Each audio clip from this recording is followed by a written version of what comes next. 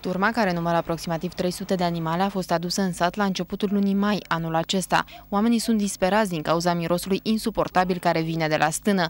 Au încercat să vorbească cu proprietarul și să-l convingă să ducă animalele în afara satului, însă acesta a refuzat categoric. Proprietarul animalelor nu a dorit să comenteze situația. Este un miros infernal, deci nu, nu e de, de stat în acest mediu. Fratele meu locuiește în această casă. Este operat, o operație foarte grea. A venit acasă, a plecat imediat la Craiova. N-a putut vechi să deschide geam. Ați încercat să vorbiți cu uh, proprietarul? Da, am încercat în nenumărate rânduri. A zis că e în curte la el, face ce vrea în curtea lui.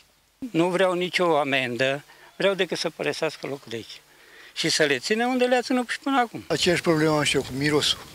Pentru că nu pot să deschid dimineața și eu geamurile sau asta, pentru că e un miros insuportabil.